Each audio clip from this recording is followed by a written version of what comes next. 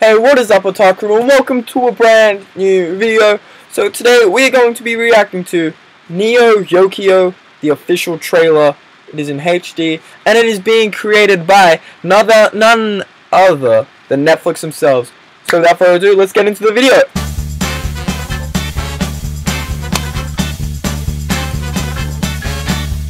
Alright, let's go. Alright, some tennis. Back and for. Oh, she got. Oh, she's pissed. Oh. Neo Yokio is the greatest city in the world. Right. It is a diverse labyrinth of cultural okay, and architectural then. innovation. Damn, that blood nose. Busted. Of course, whenever a city becomes the envy of the what? world, she's possessed. That sucks. Oh. Problems are bound to arise. Oh, I ain't good. That ain't good. Kaz Kaan, we need to discuss a matter of national security. We've seen a dramatic rise in occult activity. What? You have a sacred duty to protect the city as well as our family name. Oh, right. Then. Oh, Jaden Smith is starring? I told you to clear my schedule. I'm grieving the death of a relationship. Oh, oh this dear. is pretty good.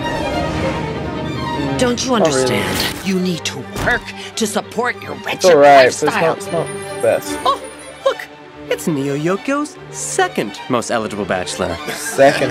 Oh. Dude got pissed. He just blew him up. Yo, we gotta teach these old money fuckboys a lesson. You can't give Arcangelo the satisfaction, B. What Win, the? lose.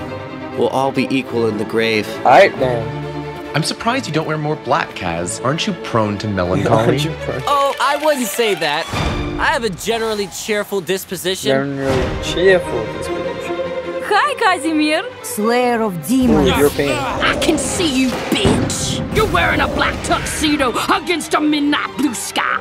And it's sparkling. Sparkling. The city's on high alert. Oh, this it's is like, um, storm. Bondo. Whatever that, that show was. Coco Chanel, may her memory be blessed. What the?